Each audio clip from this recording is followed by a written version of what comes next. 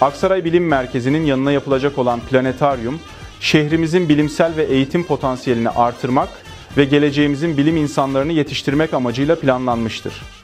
İçerisinde dijital eğitimler, uzay bilimleri ve gök cisimleri gösterileri sunacak olan bu merkez, şehrimizin teknoloji kaynağı olacak. Türkiye kadar yüzümüz, dair